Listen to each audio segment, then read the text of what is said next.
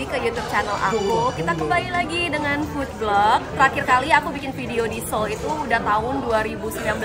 Ini udah 2023, jadi aku pengen update kalian makanan-makanan yang enak di Seoul. Biar kalian gak usah susah-susah scrolling di blog atau di Google lagi. Ini adalah semua makanan yang menurut aku enak sesuai selera aku.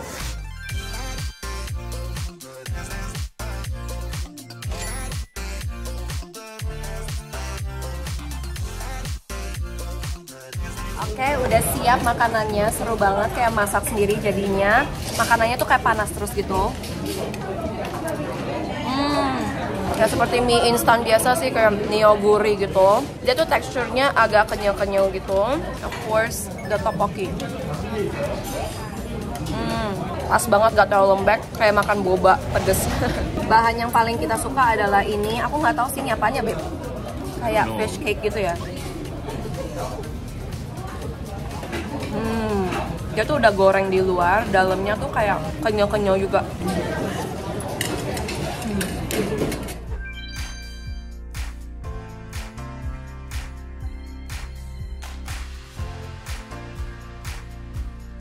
Antrian buat beli kopi aja sepanjang ini guys. Ini belum antrian buat duduk. Tuh, ini gara-gara udah hype gara-gara Instagram nih guys.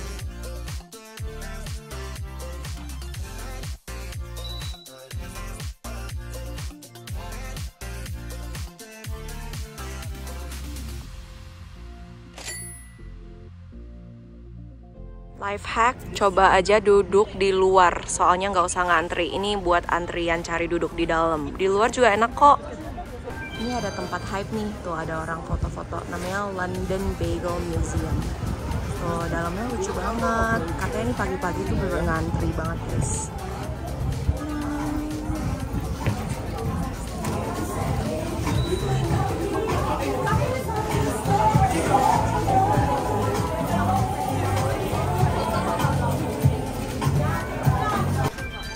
Juga salah satu cafe yang hype namanya Cafe Layered. Dia tuh dalamnya banyak banget pastries.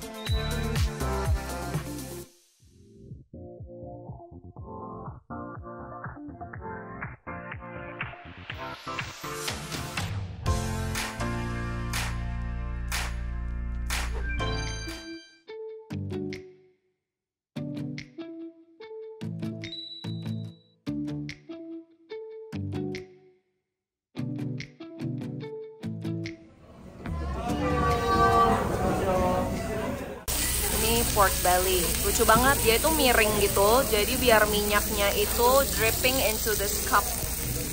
Ini ada samgyeopsal which is pork belly dan juga pork joel. Yeah, I think this is the pork joel.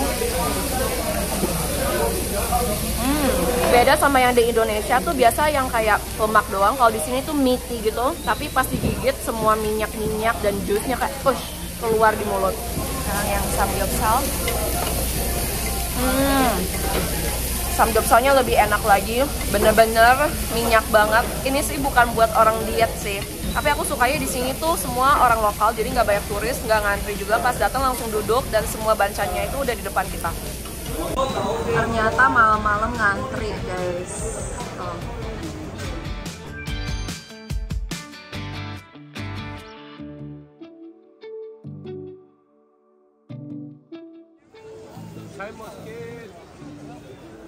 Ini bahasa Chinese ya, babe.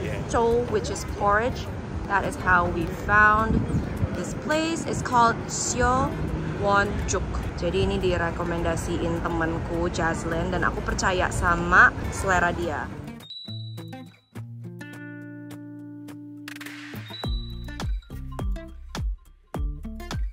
Awal-awal dikasih squid octopus kimchi. Katanya ini homemade. Enak sih guys. Gila enak banget. Bisa bawa pulang juga. Ada harganya gitu. Terus ini ada kayak toge gitu. Ini yang mushroom oyster porridge. Kelihatannya sih melimpah banget ya. Tapi ya tentunya harganya juga bukan yang murah gitu guys Jadi hari ini kita cobain bubur yang aku booking dari Jakarta. Tapi nggak lama-lama amat sih, sekitar tujuh hari yang lalu. Tapi menariknya di dalam websitenya itu aku udah harus bayar dan udah pilih apa yang aku makan. Tapi jadi enak pas kita sampai ke sini, kita udah langsung duduk langsung makan aja dan aku nggak nunggu lagi, tinggal nunggu 3 sampai 4 menit dan di luar tuh beneran ada yang ngantri, yang orang walk in gitu dan kelihatannya sih enak banget sih guys ini yang abalone porridge harganya 22.000 won sekarang aku lagi cobain yang abalone dulu. Hmm.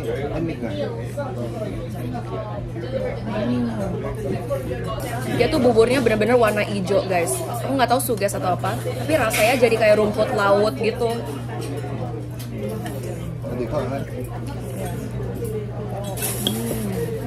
Enak sih.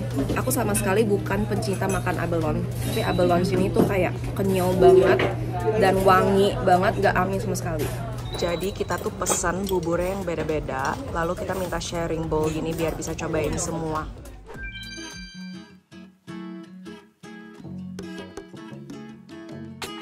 Sunny, Chris, and Gayes. Kita lagi makan di tempat Wine Works. Wine Works, but we're not here for wine. We're here for enak loh guys ini ada di Hyundai oke okay, that's all karena kita mau lanjut ngobrol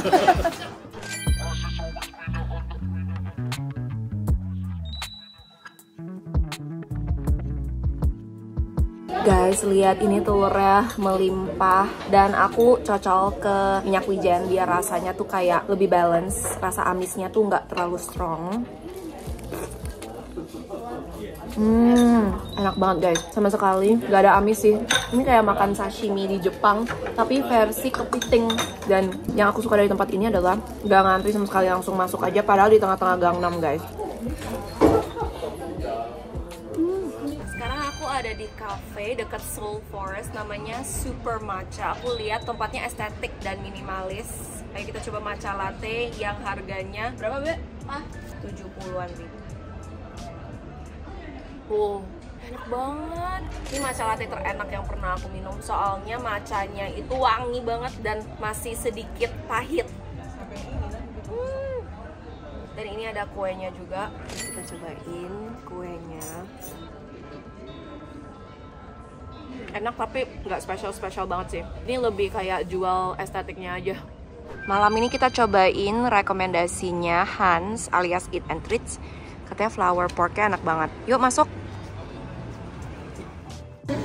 Suka banget sausnya ada egg yolknya biar lebih wangi di saat kita dip the meats. Ini ada bancangnya. Menariknya dia kasih wasabi juga, which is quite rare in Korean barbecue.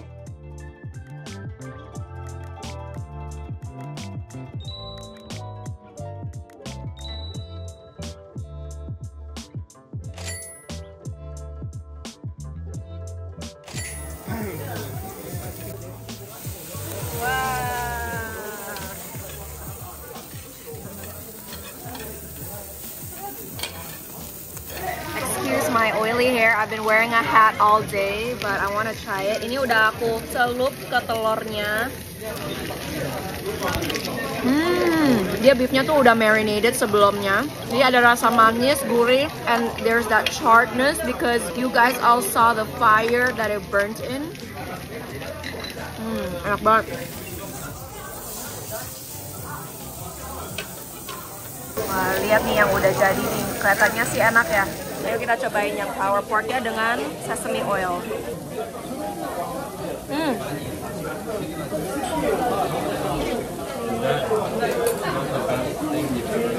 That's the best pork I ever ate.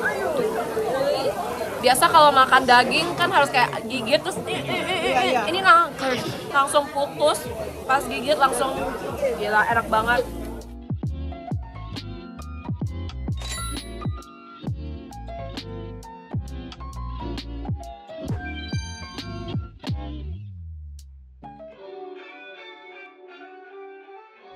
Jadi dia itu benar-benar traditional housing gini guys.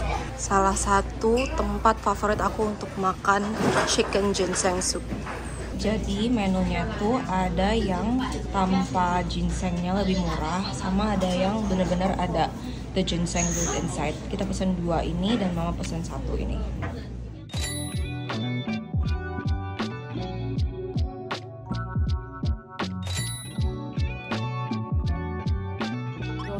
My swollen face. Ini baru operasi rahang dan dagu. Tapi guys, ternyata rasanya udah agak beda guys. Masih enak sih, jadi masih boleh banget datang kalau misalnya kalian pengen minum kuah yang kayak party and wholesome. But the ginseng taste is not as strong as back then. Karena aku sering banget makan di sini dulu. Ya, agak mengecewakan sih hari ini. You can still go with the salt. Jadi ayamnya tuh ditopel ke garam. Hmm, overall masih enak, tapi nggak seenak dulu. Aku suka dalamnya tuh kayak nasi ketan gitu, yang agak kenyal-kenyal. Lalu ada kayak kacang-kacangannya juga. Has a whole lot of dates in there.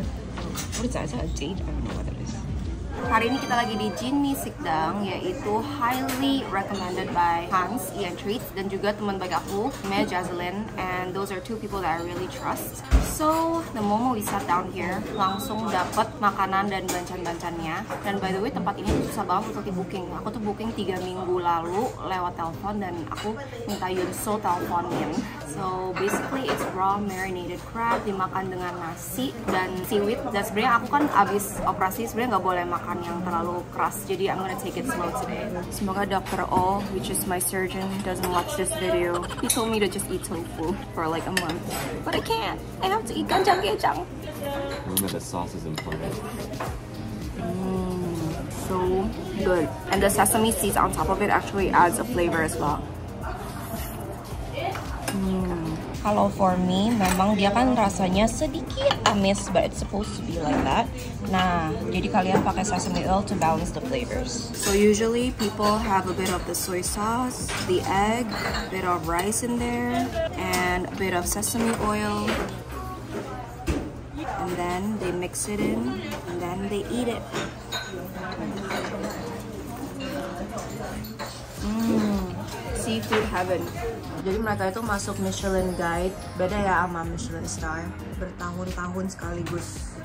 Jadi Michelin Guide itu basically it's like a book on what's good in each country, tapi beda sama Star. Kalau Michelin Star itu the person who works at Michelin actually needs to come and try the food multiple times. Jadi beda, tapi tetap enak banget. Definitely recommend. Ini kita lagi mau makan udon di dalam Michelin Guide 2022. Semoga enak.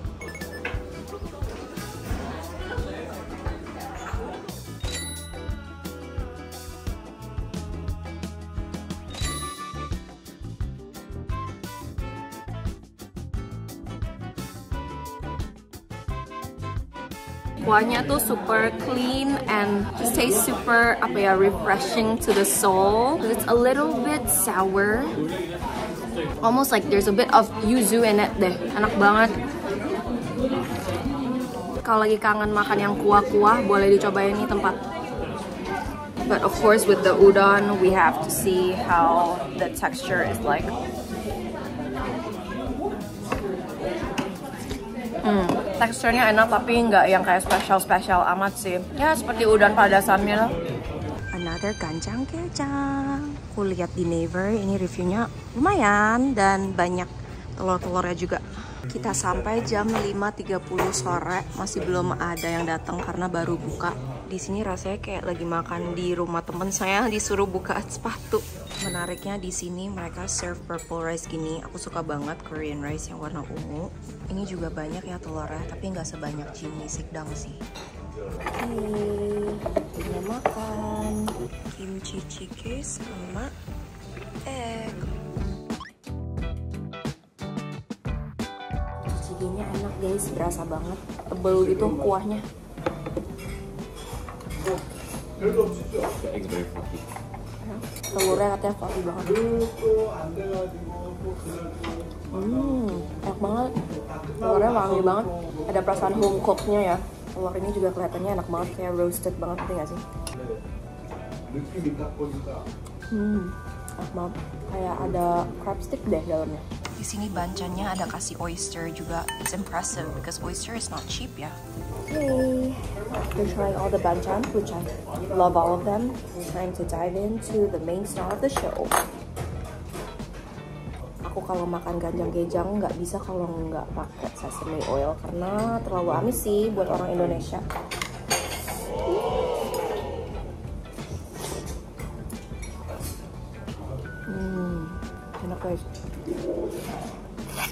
Rasa telurnya creamy banget. Ini nggak amis samsek sih. Rasanya bener fresh banget. Dan karena ini makannya sama pepper rice jadinya rasa dari nasi ungunya tuh juga komplement kepitingnya gitu loh. Di sini kasih ikan yang kayak shishamo gini. Gila ini bener-bener juicy banget. Dan rasanya itu super flavorful flavorful gue sampai nggak bisa ngomong. Gila ini telurnya dong wangi banget. I'm gonna have dreams about this place. Walaupun kepiting di sini itu nggak semelimpah tempat yang satu lagi tetapi semua bancang di sini lebih enak dan lebih cocok satu dengan lain. Aku kayaknya overall lebih suka tempat ini soalnya dia sepi bookingnya juga tinggal telepon gampang. Kalau yang satu lagi tuh aku harus booking tiga minggu sebelumnya gitu guys. Lalu service di sini juga lebih oke okay sih hmm, gila enak banget